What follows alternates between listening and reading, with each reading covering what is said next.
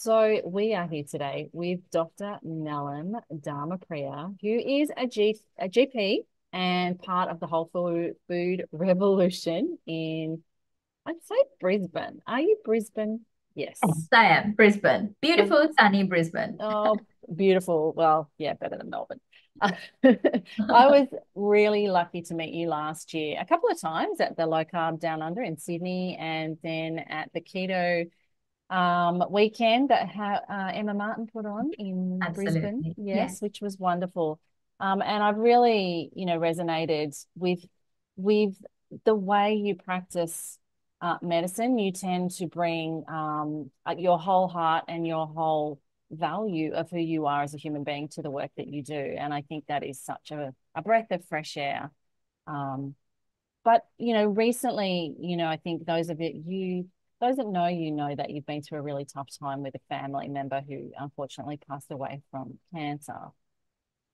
And you know, I'm I mean, I'm honored that you are here sharing what you're going to share. So do you want to just start with a little bit of, you know, yeah, who you are, why you're here, what's kind of happened over the last few months and Thank you. Tracey. And thank you for giving me this opportunity because I do, I felt, I do feel really strongly about this subject and, and I'll, I'll go through it so that your, your listeners understand. So, um, just before Christmas, no, beginning of January, my um, brother, 53 year old, absolutely fit and well, um, was diagnosed with a metastatic uh, lung cancer with multiple metastases to his brain. Now, um, he was only, he was he only had symptoms for two weeks before he was diagnosed, and that was just um, um, dizziness and blurred vision.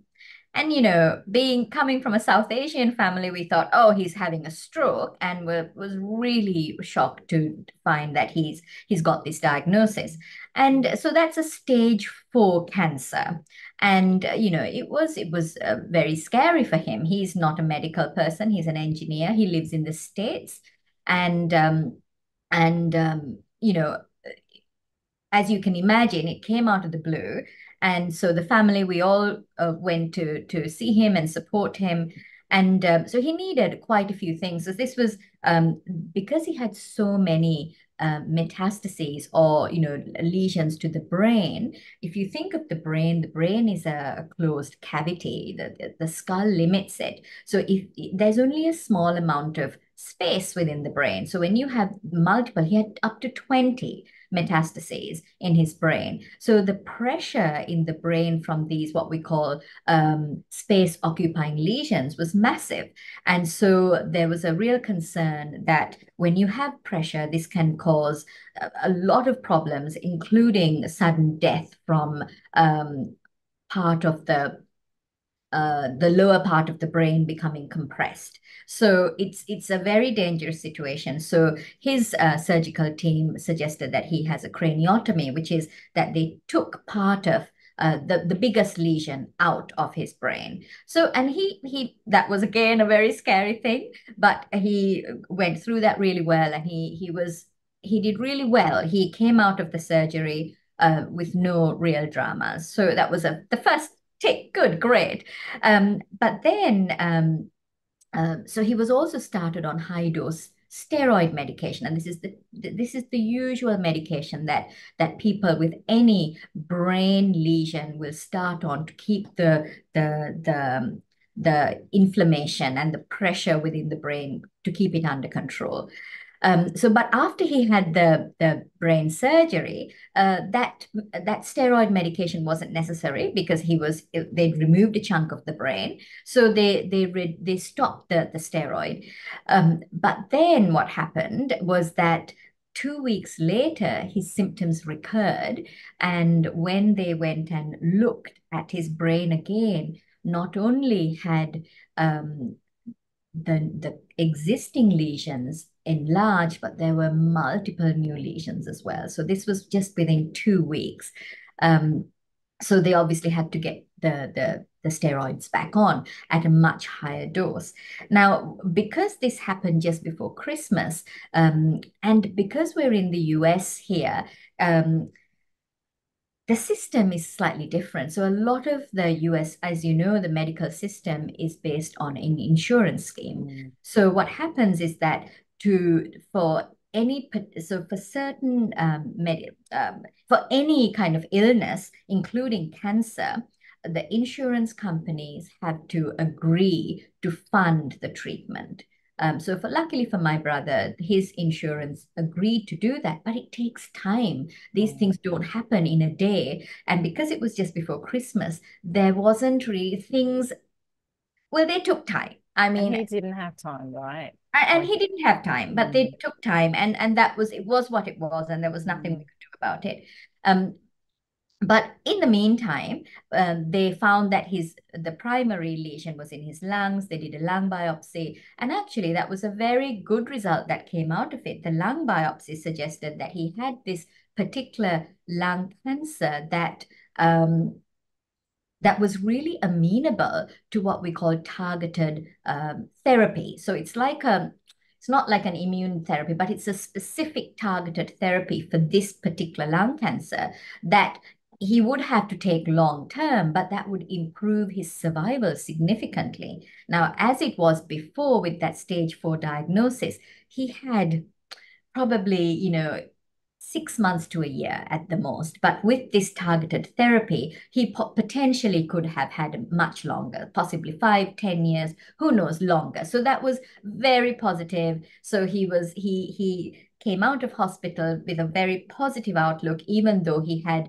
this you know recurrence of this brain uh, the metastases everything was positive. positive and just so, that yes can you clarify with the lung cancer because i think everyone thinks oh it's a smoker and you know that you know not that there's a judgment in that but he wasn't a smoker either, no was he? he was never he never smoked a tracey and he was the the healthiest person because and he was so active his mm. passions were always outdoors he was mountain biking hiking, skiing, swimming. Wow. If he could live outdoors, that's what he would be. And mm. uh, the family generally had a reasonably uh, good um, diet. You know, they they weren't they, you know they they were always conscious of what they ate. Yeah. So at this point, just before Christmas, um, uh, you know, he's he was relatively stable. Now he's waiting to start radiation therapy in the new year. He was waiting to start this new medication in a in, in a few days' time. So I thought, uh, with my uh, kind of area that I specialize in, you know, with the low carb nutrition and keto, you know, this lifestyle, and um, I thought, okay, I am going to go over um, to the US and spend some time with my brother. And really, I wanted to kind kind of give him an opportunity to learn about how to do keep keep you know how to uh, adopt a ketogenic diet and we'll talk about why that is um, to be in ketosis and to introduce him to some fasting so i went over just really to support and to spend time with him and um, and when I when I was there, so first when I went, he was he wasn't sleeping. He was sleeping two hours per day per, per night. Um, and when I first went, he was tired as expected. You know, he was, as you would expect somebody with a stage four cancer. He was tired during the day because he wasn't sleeping. Um, but as the days went on, I noticed that despite this lack of sleep, he his energy levels started to increase. Now, initially I thought, wow, this is amazing. This must be the keto diet because he was like from two in the morning till midnight, he's up. He's up, he's kind of, and do, when he got this diagnosis, stage four cancer, uh, and then that secondary, slightly better prognosis, he decided that he wasn't, he was going to live his life. He'd always lived his life, but he was going to kind of, you know, do everything that he wanted to do. And one of the things that he really wanted to do was he wanted to upgrade. I mean, this might, everybody's different, but he wanted to really upgrade his home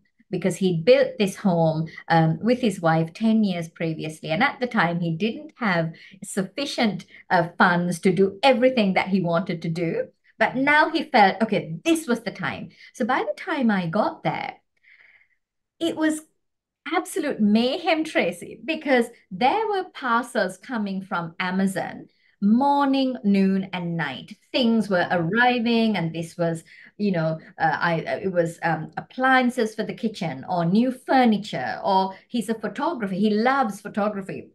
Multiple different cameras, lenses, because he loves mountain biking. These uh, bicycles. I mean, like five bicycles. Like and and and then he was rearranging the whole house so the house was being you know all the existing furniture and all the stuff was being thrown out and it was it was chaos right but mm. but he seemed really happy he seemed really happy but as the days went on i realized that I don't know, there was something not right. He was talking a lot. My brother has always been somebody who's very quiet. He he talks when he wants to talk. But I realized that from morning till night, you could hear the drone of his voice. He was always talking. Sometimes he was excited, sometimes he was annoyed. He'd be irritated if we didn't all feel the same passions that he felt. Um, you know, and then as and then he I realized that he was becoming very emotionally labile. Mm. Um, he'd be really happy one minute but then happy crying another minute, then angry and irritable and getting more um, aggressive verbally, um, which, you know, he, he's always kind of you know he's always been somebody who could manage his uh, his um, his emotions. So I I I thought what what's going on? It just didn't seem right. And then and and i'm there as a sister right? I'm not there as a doctor as a clinician. I'm there just to support him as his family as his family. And my parents they're, they're both in their 80s they were there too. And um and then my mum she just mentioned we were talking and she said Nelum you know, he talks a lot. He's never talked a lot. And then it was like cling, cling, cling. It just, he basically had an episode of acute mania, Tracey. So mm. an acute manic episode. So he's, so this is a, a, a, a, a, um, a situation where you just, you just lose that control of your thoughts really and you go into this hyper excitatory state um, and people who have had acute mania know that it's a very distressing time because um, you know you so the you just lose the the usual um, what are the words? The the constraints on the mind. So the tip he had every single symptom this excessive energy not requiring to sleep um, talking and these gra- what we call grandiose ideas. So in behind all of this is this I am wonderful. I can do all these things. My my mental clarity is better than I, it has ever been. And despite this cancer, I'm doing so well. I can do all this and you know all of these kind of thoughts. Spending. I mean, the amount of money he was spending. Every morning we'd wake up and he'd spent thousands of dollars. And and I'd say to him, you know, can how about we wait till you're a little bit better? But no no no no. I am going to get better. I'm going to fight this and i'm going to write a book and i'm going to do all of these things. And and then the other thing is that the loss of insight. So for somebody who has a manic episode they don't realize that there's something wrong. They feel amazing. They feel as if they're on top of the world. Nothing can get them down. And anybody who suggests that there could be something wrong mm. is is is um, is the bad person. So we had to be very very careful in in in the way we spoke about things and tiptoeing around the house. And because it'll be one minute he'll be so great. And you know he has two kids and the same thing with them as well. One minute he'd be this amazing loving dad and the next minute he'd be like flip and get really angry because of something that uh, they'd said. So this went on for a few days, and I thought, oh my gosh. So one of the com most common reasons for this, I mean, there, for him, there were probably multiple reasons because he had these metastases in his brain that could impact um, impact this as well. But um, the, the high dose steroids Um, steroids is one of the reasons that they, they are commonly, not commonly, but it is a well-recognized side effect, um, this steroid-induced manic episode.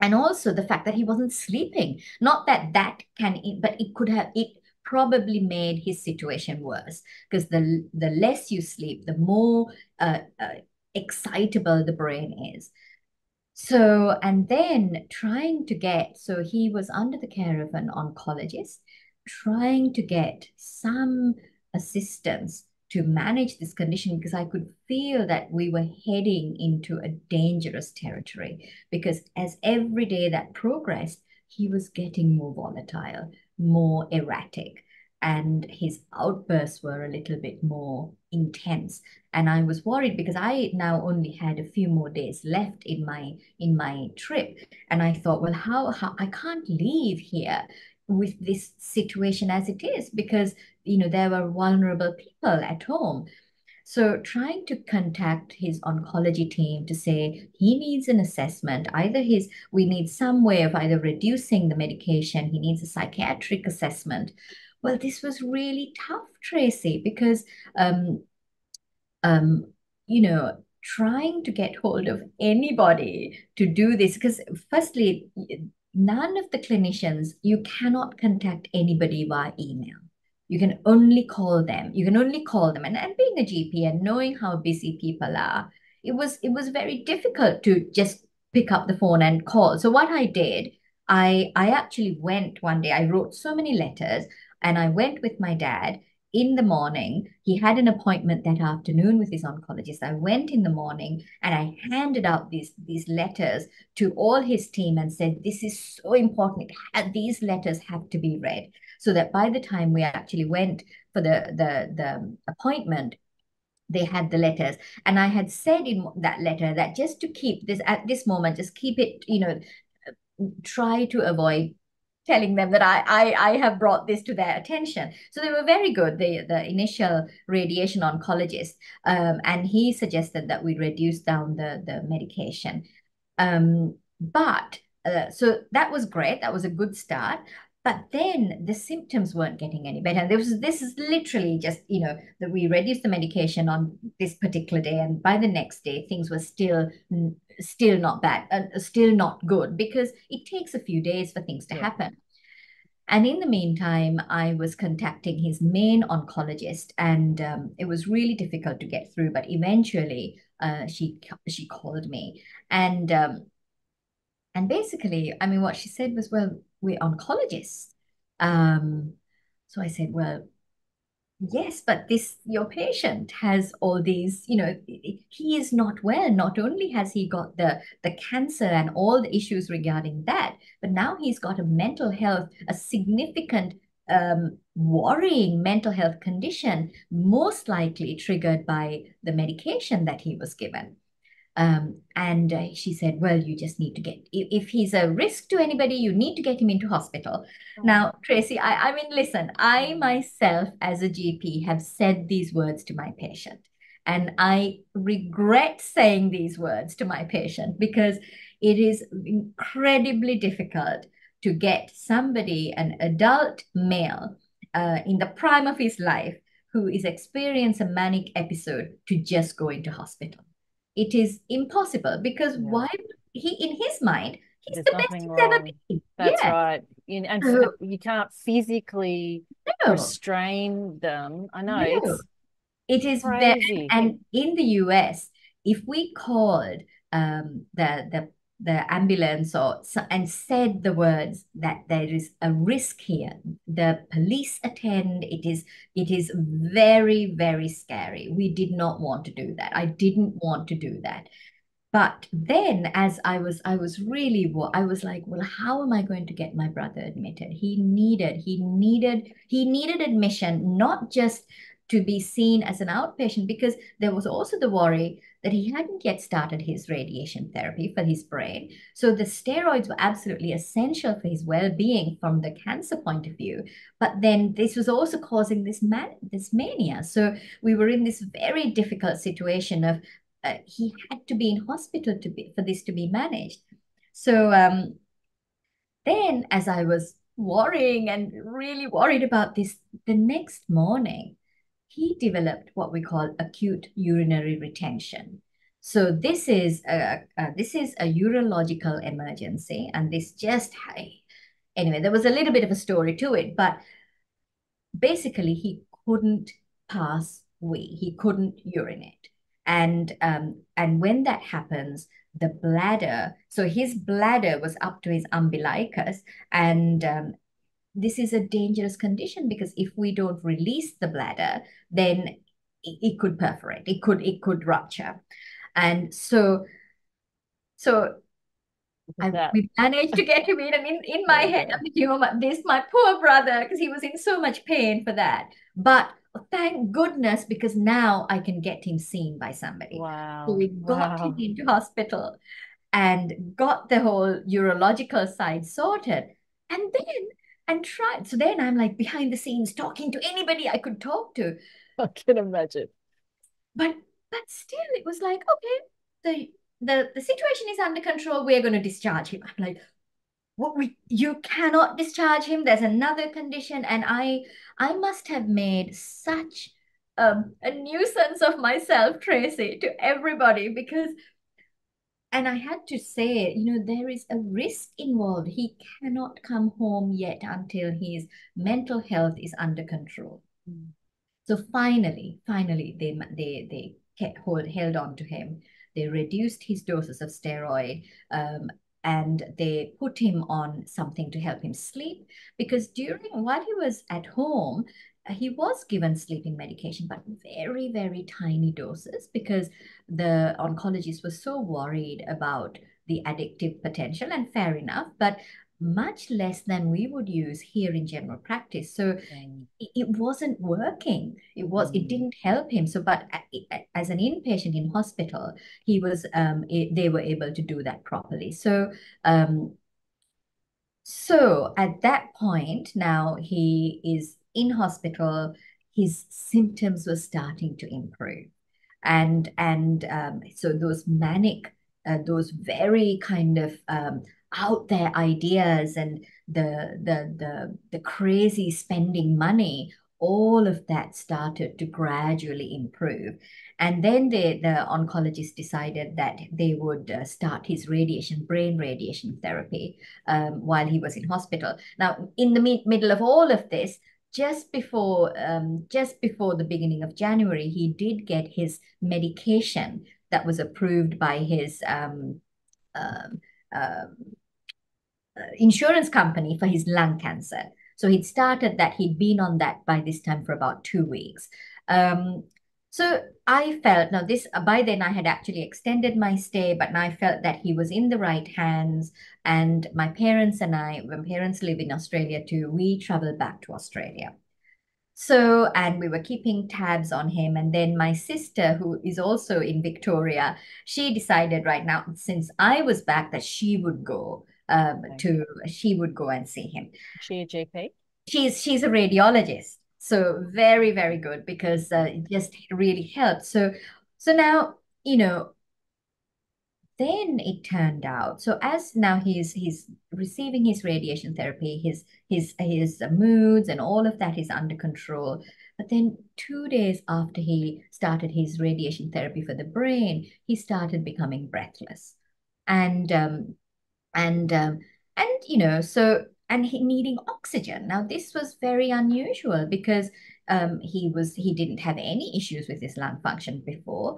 And then they uh, um, they, they, they did tests and they realized that he had they grew uh, a virus and a bacteria. So they thought that this was a pneumonia and they started giving him antibiotics and and he needed and continued with the oxygen. And a whole week went past tracey and um, he wasn't improving and he's still in hospital. He's still in hospital. He's needing oxygen every day. And, and now he's getting to the point where he can't talk because every time he, they take the oxygen mask off, he's so breathless. And I'm thinking, what is going on? You know, if if it was an uh, an infectious process, you surely this would have settled down.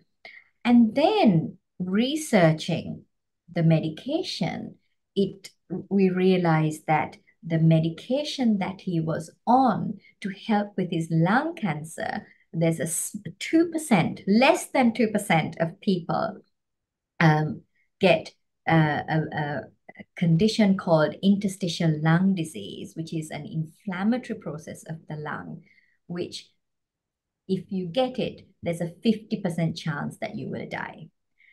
And and we knew that this was it because and uh, so then they you know looking at doing further investigations they found that that was it that he had this inflammation that so you know how in covid covid time we had a lot of people um, who died of uh, lung related disease and that was more an immunological reaction against the virus. So very similarly this medication caused an immunological reaction in the lungs which literally it just caused massive inflammation to build up in the lungs and um, and obviously the, an, antibiotic it wouldn't matter how many they gave no and no and it's not antibiotic it. it's no. it's not an it's not bacterial it's no. not an antibiotic so unfortunately for my brother what happened is that the treatment here tracey is high dose steroids um, and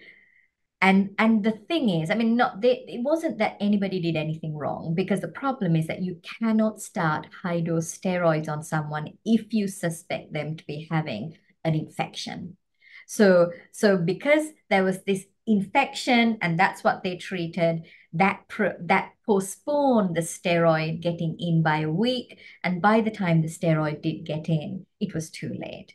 And he and so by the time my sister went, so she went about 10 days after I left, um, he she was shocked when she went to see him because he was literally bedbound, oxygen, a lot of muscle wasting. He was like half the man he was before and um and um and and then so basically he he he became so exhausted from trying to breathe himself that the next step was that he had to be intubated so that he could be ventilated mechanically and at that point um, my parents and I decided well, we had to go again. So we we got in just um, in in time because as we he was in ICU being ventilated, but he had a little bit of he wasn't um, he he was able to hear us. He couldn't speak, but he could respond. He knew we were there.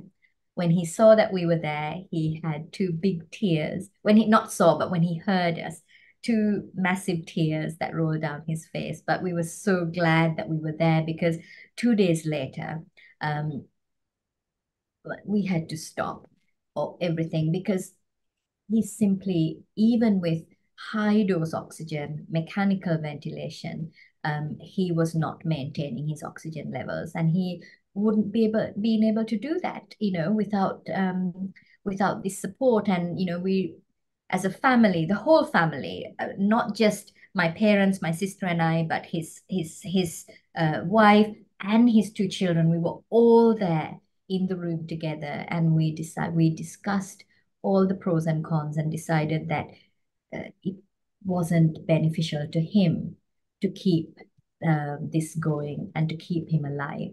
So we stopped the ventilation, and it was the right thing to do because he didn't even take a single breath after that. And um, so the reason, you know, it was so he died within two months, less than two months of his diagnosis from um, he suffered, you know, the manic episode was a drug reaction. And then this, um, the interstitial lung disease was also related to the drugs that he was on. So the reason I feel that I wanted to come on and talk about this, Tracey, is that, you know, these medications that we treat use to treat cancer, um, they are also toxic. They are also, you know, poison. So we, they are not without um, their own problems.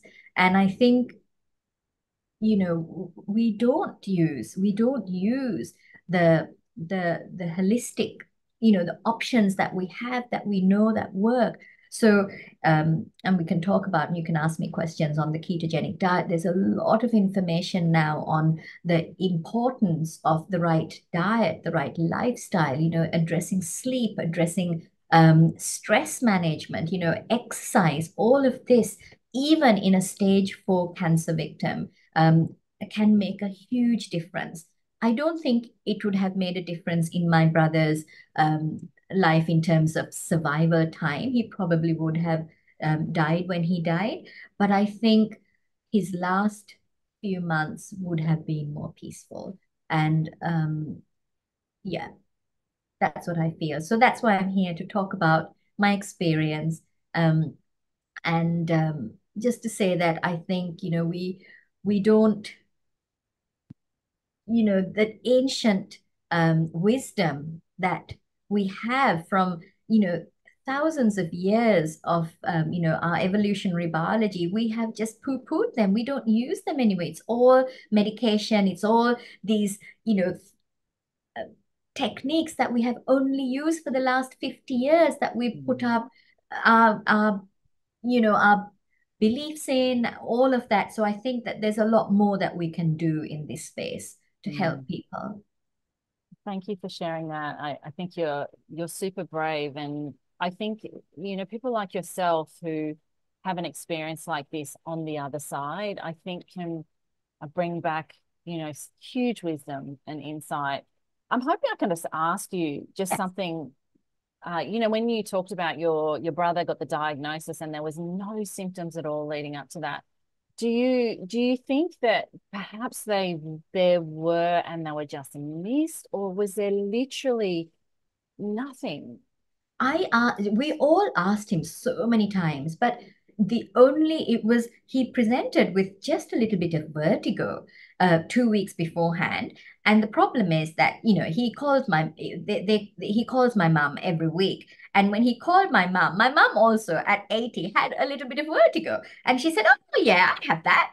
And then and then his and somebody else in, in his circle had vertigo. So he was like, Oh yeah, this is some kind of a viral thing. Yeah. Um, so really that was the that was it. And then he started getting a bit of blurred vision. Uh, and then kind of he said to me that like, you know, if he was going to put something into the microwave, he'd miss the the opening. And that's when he realized, oh, this is something's going on here. Mm. So, but no, I mean, he two weeks before then, because he's a keen mountain biker, uh, his daughter, who's in uh, at university, had come back for some holiday and they'd gone on this massive mountain bike with a massive incline and he had no symptoms mm. um so yeah it's interesting isn't it because you know a lot of the reading i've been doing um you know it's obviously a topic i think that we are excitedly learning yes. a lot about um, yes. um, in, in terms of alternative views if you like yes. and treatments but um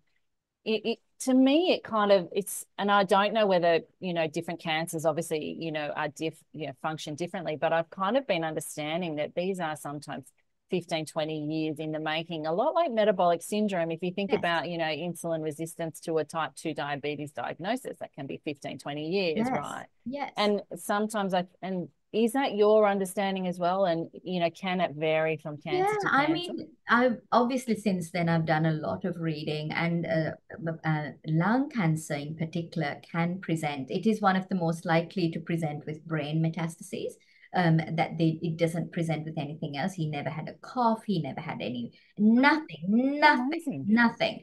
And so his symptoms simply were the symptoms of the pressure in the brain. There, there was that, that was how he presented. So it was, he presented quite late with those symptoms. There was nothing else. And he didn't lose weight. Six, um, six months before he was in Australia, they were visiting us and we went, we had, you know, a lovely time and we did all, because he loves adventure. So that's whenever we meet, that's what we do. We're always doing something out and about. And there was, there was nothing to suggest that he couldn't keep up or, you know, that there was something wrong. There was nothing. Yeah. So, you know, obviously you've had a huge amount of insight and reflection on this experience. And, you know, you talked about, you know, the ancient wisdoms of, of of treating the whole body. I I think that's what you're you're trying to say because you talked about the silos. You know, you were talking to your oncologist about a mental health issue. Well, that's not that's not my field. Yes. You know, you have to, and I think for your brother, I mean, having you there, I mean, he'll never obviously, you know, know just how incredibly lucky he was for the average person who doesn't have your knowledge and insight to push through that. It's it's almost like you get into into this system and you're totally powerless as yeah. to your, I suppose, your role in that because of this siloed approach. Yes. What would you like to see change, or what are some of the biggest insights you've had on on where we could look at changing? Um, I suppose from a patient perspective, just to make it a different journey, or, or I don't know, you know, like there's so much right? It's a big question. yeah it is it is. Uh, what the other thing that i uh, because and, and this is something i think is really important tracey. So because of the way my brother presented and he was really under the care of the hospital team by the time he he presented yeah. and he didn't really have a gp involved by then. He has a gp but the gp was not involved at that moment. And that i think was a real um, negative because mm. I think having a good GP who has your back, who can advocate for you, mm. is really important. Mm. And I, I, that is what I mean. That would have if there was a GP. That's I all I would have had to do is contact the GP, and they would have. But because th- there wasn't a GP involved at the time, and things were moving so quickly, um, it was it was a difficult scenario. So I really encourage everybody you know find yourself a good gp that you get to know and they get to know you because i think it is so important to have mm. that person when you need them to advocate um, for you just to yeah, help manage all the absolutely the just silos. to oversee and to coordinate because that wasn't yeah. my role there i was i'm not you know i'm i'm I, I don't know the system there i was there simply as is my as as a family member as a support. So um yeah. And then also tracey i think one of the things so we had started my brother on a ketogenic diet and he was doing a bit of fasting but as soon as he got into hospital his doctors said stop it. Stop it. And it's it's of no benefit. And and i didn't want to. We didn't you know that was fine. He had to feel that he could trust his medical team. So we didn't um, get involved there. So that was fine. But again, I feel that there is, I mean, there's so much now new information coming up on what we call the mitochondrial metabolic theory of cancer, mm. which says that uh, it is really damage over time to the mitochondria and mitochondria are the energy the power the energy generating powerhouses in our cells. And um, it, and without this power this energy that we generate well that it's that's our life force isn't it? We need energy for every single thing that we do. And if these mitochondria get damaged then that oh, so it's a chronic so what what what they say with this theory is that and it's more than just a theory there's now a lot of Absolutely. research that has been done and this has been proven time and time again. There are multiple survivors, uh, long-term survivors of stage four cancers who have gone down this path. So what they say is that chronic damage over time to the mitochondria um, reduce the ability of the mitochondria to produce adequate energy. And so that then leads to the cell adapting to a very primitive method of energy production, um, which uses um, uh, fermentation, not oxygen. So 2.5 billion years ago, before there was oxygen on this planet, uh, the cells that we that that obviously humans were not alive then, but the cells that were alive um, didn't well they didn't use oxygen because there was no oxygen, so they used to use um, fermentation to produce energy. So they used um, whatever substrate, whatever fuel that they could get, fermented it and produced um, an acidic environment. That's fermentation, not using oxygen. So these cancer cells, um, what happens is if over time the mitochondria get damaged uh, and the mitochondria are not able to produce uh, adequate oxygen to sustain this cell. So this cell, they're so, I mean, amazing. yes, amazing. so they adapt. So this is not acute damage. If say you you know somebody was poisoned by arsenic for uh, by some or something like that, that would that's an acute damage that kills the cells. A, a dead cell cannot become a cancer cell. But this is over time. And that's what you said, Tracey. This is something that happens over time. You know, over a period of time, some damage has occurred and it, it hasn't killed the cell, but it's just not able to maintain its energy levels sufficiently. So it has time now to adapt to a system that gives it the ability to survive. So it's basically a survival strategy for these cancer cells. But um, so the so the fuels that they can this these cells use are usually glucose and uh, another one called glutamine, which is uh, an amino acid, which is a breakdown product of protein.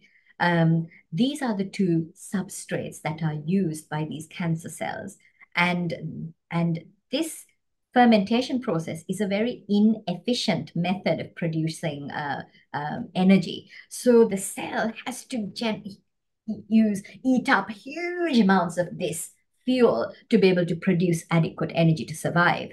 Um, so the idea is that if we can somehow stop um, or lessen the amount or starve this cell of its fuel, then these cells, because they're so primitive now, because they they're, they're not like our normal cells in the body that are able to adapt very quickly. These cancer cells, because they're so primitive, they don't have a lot of capacity to uh, adapt for once they've become this cancer cell. So if you starve them of energy, they can't do much more.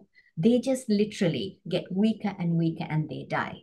Mm. Um, so, so that is the idea behind the metabolic, the mitochondrial metabolic theory of cancer, that we can do two things. So if wh what can we use to starve this cell of cancer, uh, starve, starve this cell of uh, fuel? It's if well, what can we use to starve the cell of glucose?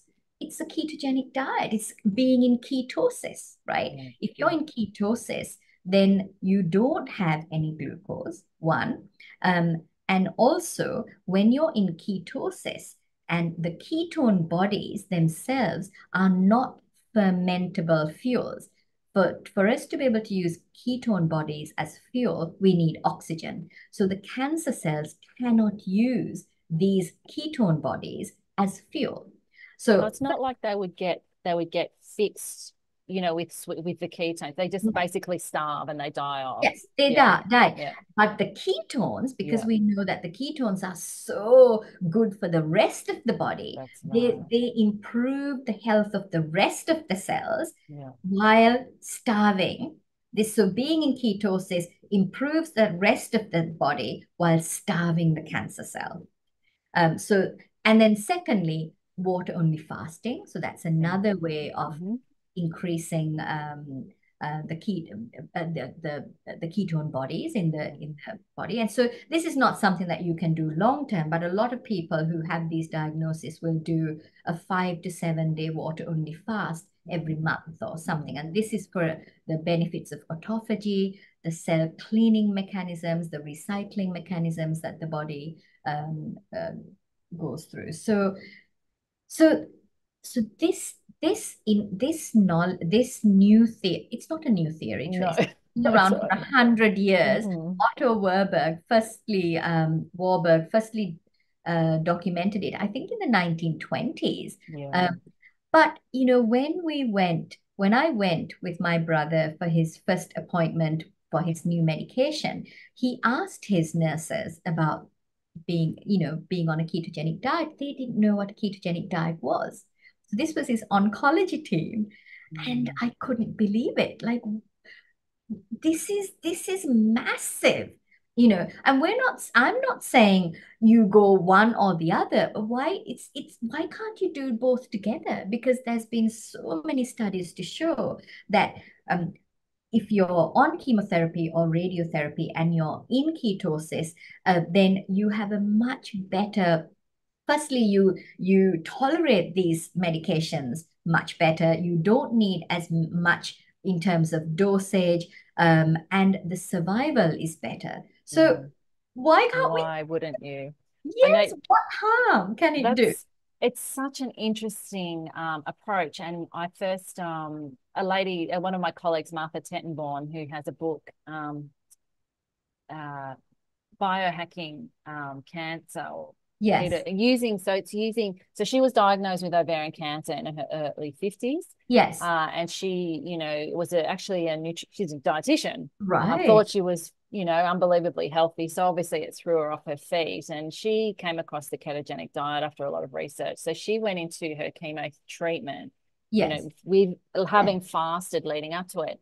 So this was about in 2017. She's got a book out. It's it's a great book. Use you know sort of going through the process of it. Process, yeah. Um, and I met her in San Diego when I was over in at Low Carb USA last year, yeah. and we were talking about it. And what she said she now understands with that is that the fasting it it what it, it for want of a better way of describing it, it's obviously a lot more complex than this. Yeah. But, you know, she said the the healthy cells of the body they kind of it's like they sink to the bottom of the pool and then you have the chemo treatment and it it really doesn't touch the healthy cells it just yes. literally targets yeah yes. so she said that you know she knows now why that approach worked so well and she didn't get as sick um, at all she recovered a lot quicker after the treatments mm-hmm. i mean she's in full remission now and vibrantly healthy yes. um, and i think it's just you're right it's well we know why you know a lot of people don't want to look at you know it mm. doesn't suit the the way that the medical system is set up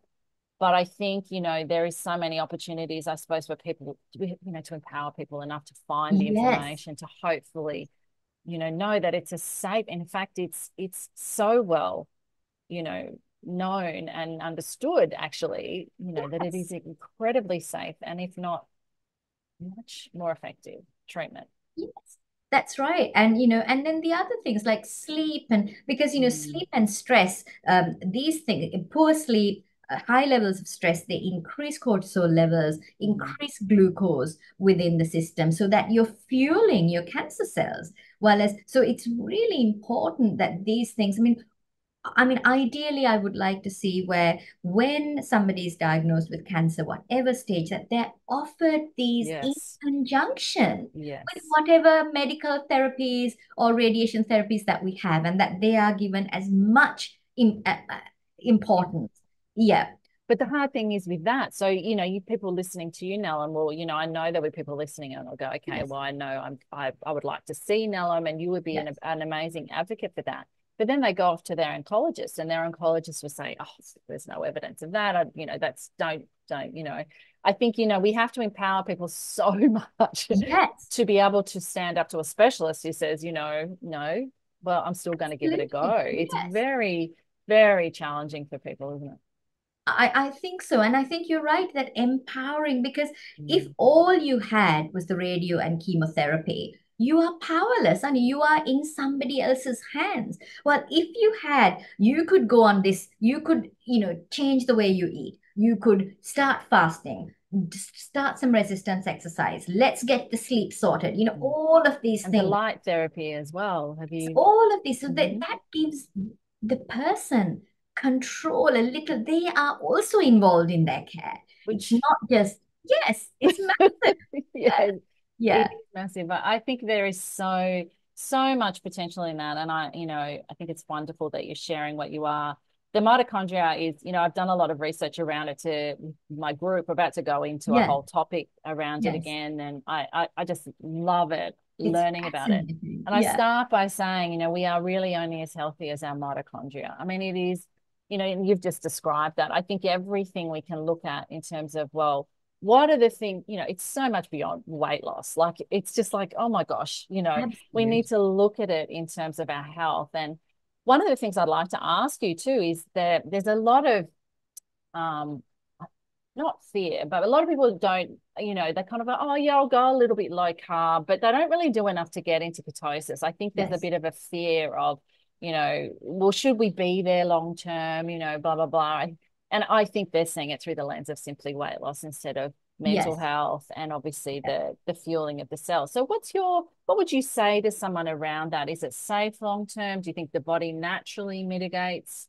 you know, in and out? Very or... safe long term because if you go back in our evolutionary biology, that's most more than likely where we were most of the time that we yeah. were in ketosis and that's how we were formed that's why we carry so much fat around uh, in our bodies because that's what we use to fuel ourselves right yeah. um, we've got our own fuel tanks exactly yeah. so you know and um, the thing is that if for certain conditions it's not just about being low carb. You have to be in ketosis. Absolutely. So for things like cancer, uh, it is really important if you're doing it, you're doing it so that you actually are in ketosis. And um, um, and I think that is so epilepsy, for instance, is another one. There are certain, yeah, and a lot of mm, mental health mm, conditions mm. Uh, really to maintain ketosis. Yeah. Mm. So I think um, uh, for for weight loss and for um, maybe um, other kind of, you know, diabetes, um, uh, heart disease, you know, things like that, you could go low carb and that could be enough. But certain conditions, I think you really need to be in ketosis to benefit. And there's mm. absolutely no long-term risk of being in ketosis. Yeah. Not the therapeutic, uh, the the therapeutic ketosis that we're talking about. Yeah. No, no, I absolutely agree with you. That's certainly what I the conclusion I've come to. And every time I get an opportunity to ask a doctor who, you know, who really yeah. understands it, that's the answer that I hear. I think it's people who generally misunderstand, you know, the complexities of it that might yeah. talk about that. But yeah. um, anyway, I also would love to ask you, um, Nelum, I'm conscious of the time. Hopefully you've got a few more minutes. Yeah, but no, that's fine. You as a um, just the incredible human being you are, you know, how did you actually manage the stress like what were some of the things that you were really conscious of going through this experience you know whether looking back on it or what you noticed going through that you think were really important for you as a family member of someone going through this to to focus on yeah. so tracey so i um i'm a practicing buddhist and that really helped me um because yes, and I think that I wouldn't have coped otherwise, uh, well, in, in, as well as I did.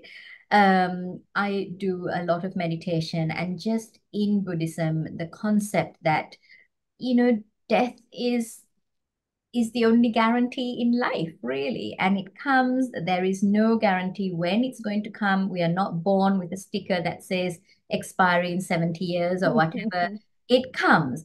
And i think just that realization that for my brother this was it and that that there is going to be loss here. And you know that it is the way it is. And and i think really those roots um going you know really kind of digging deep into my spiritual uh, learnings and um talking to my sister who we both are the same. So you know really that really helped. That really helped. And then being there with the whole family um, making decisions together um, making decisions that were more uh, were really about what was the best thing for my brother um, was was because you know it was very difficult for my sister-in-law and the kids um, not having a medical background and suddenly we you know here they are you know in this room and we're talking about um, you know stopping his ventilation and so really kind of being able to explain to them to talk to the specialists that were there to give them the opportunity to ask the questions. And you're right tracey how the, my brother's uh, situation was a very complex situation. How anybody else would have managed it without any medical knowledge, I, I, I, I I feel really humbled that I had that knowledge and my sister was able to help with the radiology side of things. Otherwise, it was, you know, where would you so many things that went on. And this this kind of scenario must happen to so many people you common, know that's the common scenario yeah exactly mm. so yes that so, i talk not in, in terms of exactly how that plays yeah yeah yeah brother, no, but that's right yes that that system approach that you really just become a, a, a, number. I mean, there's no one advocating for you. There's no one sort of crossing over that whole mind body thing unless you have someone like yourself in your family or you have that ability to do that yourself. And if you're that unwell, you don't. I mean, your brother lost, you know, his no, ability to. No, absolutely. Yeah, yeah, very, very difficult. What um, I think that that's lovely. I, well, that that that faith, I guess, and that understanding that holds you true. I I, I I'm not Buddhist, but I love the Buddhist philosophies and the practices are very similar to me as well. And I I I think there is um, a knowing that this is one part of our journey, our life here. Uh, I that's helped me deal with you know kind of grief, knowing that it's only short term and that we'll meet again. Um, exactly. But there was a there was a program. I'm not sure if you've seen it on Netflix once. I don't even know if it's on now. Called Experiencing Death. And yes, was, have you seen that? I did. Yes, it's. There was one of the episodes where I talked to a um, a doctor who ended up doing a lot of study on what happens prior to someone passing and how their their loved ones tend to come back and, and get them. It actually got me gets me really emotional because I I think, you know, we have so much of a fear around it because we don't necessarily understand it. Yes. But there is, you know, we can look at it, you know, in a in a loving and a, a different way, or in a, you know, yeah, absolutely. I think so. In uh, the Buddhist traditions, we don't say rest in peace because that is not. We say, you know, because there's an ongoing journey. That may your journey you know be you know wherever you're heading so there's an ongoing journey and that that journey um, will eventually end but that it, you, you we don't rest in peace. We there's an ongoing so there's life after life. It carries on as you said. And so that's so you know um so we wish him well in his journey. Um yeah.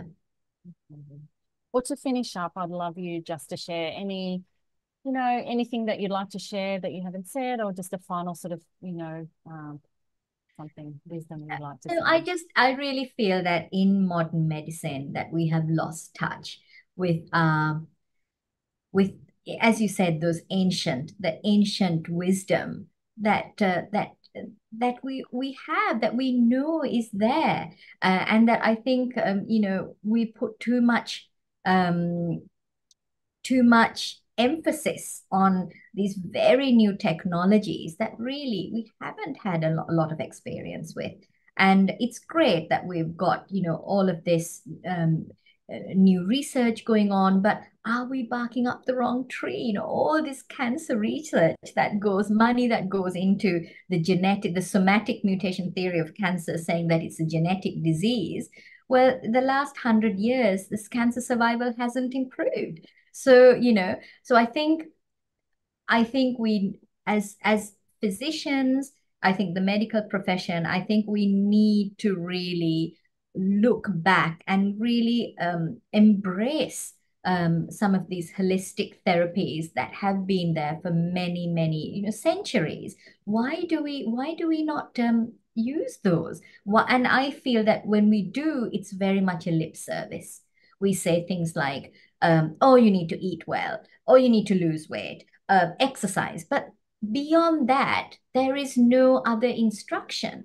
So, so that's because we don't know because we're not taught that, and and it's not deemed important um, not important enough anyway as the the pharmaceuticals or whatever so i think i think that is the message for me. I think we need to look beyond just this new stuff that we have but also embrace and and you know connect with all those the, the ancient wisdom that we have. And that's really important. Thank you so much dr Nelum for sharing your story and your experience and I truly believe too that sometimes we're gifted with these experiences not because we choose them, but because there's something that we are then going to be able to give to the world. And I can't wait to watch this sort of unfold for you and the passion behind. There's a, there's a different level of passion when it's been a lived experience. Yeah, absolutely. Yeah. Yes. Thank you. Thank, Thank you, you Tracey. Thank you for giving me the opportunity to chat with chat to you and and your audience.